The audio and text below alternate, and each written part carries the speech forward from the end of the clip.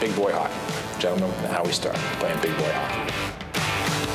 You'd punch in at 7.30, and they didn't stop work until 10.30. We used to outwork everybody. Freshmen were tough, too. And we had a lot of talent, I thought. A lot of people thought we were just tough, but they all could score. And we set a record one year. We had 11, 20 or more goal scores.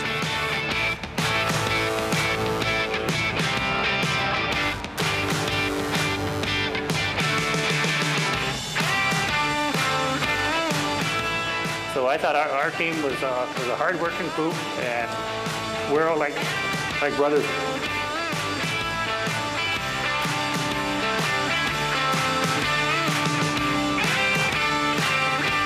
I always felt that if Bobby Orr played, we would have won the Stanley Cup a couple times, you know. But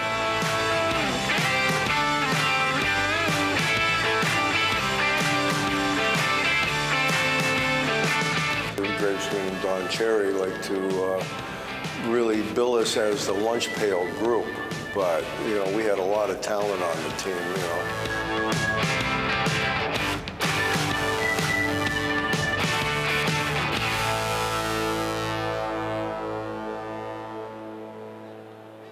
Ladies and gentlemen, please welcome from the only team in NHL history to feature 11 different 20 goal scorers in the same season. With 20 goals, number 14, Bobby Miller. With 20 goals, number 21, Don Marcotte.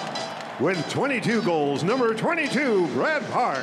With 23 goals, number 19, Gregg Sheppard. With 25 goals, number 16, Rick Middleton. With 25 goals, number 10, Jean Ratelle. With 27 goals, number 17, Stan Jonathan.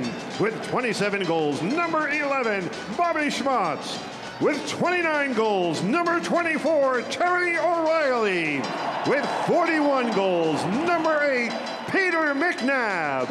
And the head coach of the 1977 78 Boston Bruins, Don Cherry.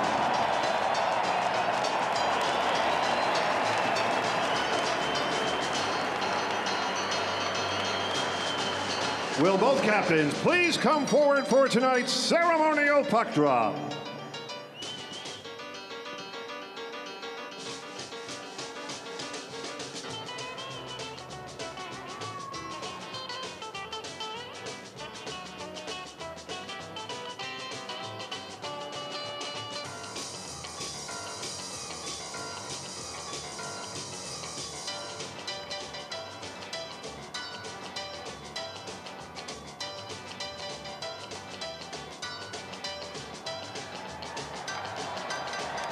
Thank you, Don Cherry, and the 20 goal scorers from the NHL record setting 1977 78 Boston Bruins.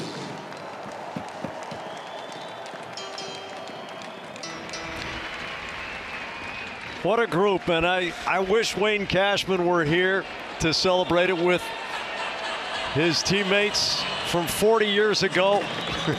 the highlight the highlight of Cashman scoring his goal, he gets kicked in the head, which was typical Cash. the guy worked as hard as any player alive. well, you talked to Raymond Bourque, Jack, uh, you know, a little bit more connected with our generation. Uh, those 10 players on the ice along with Don Cherry, just slightly ahead of us. You know, teenage years when you're watching those guys, those were our heroes. Those were our idols. You wanted to play in the NHL because of them. But Wayne Cashman, and when you talk to Raymond, you say you learned from the from the veterans, and he was the best. Yeah. That says it all. Quite a group.